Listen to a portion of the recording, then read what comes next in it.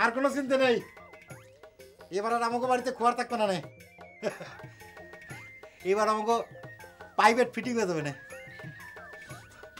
ও পারাবর্ষী বোন, কথা করছ না কে? কান্দিছে নাকি এবার? কান্দিছে না রে বিন্দিয়া, কি হইব আর কান্দিয়া? যাইতে হবে স্বামীর বা যাইতে হবে রে। কান্দিছে না রে বিন্দিয়া কান্দিস না রে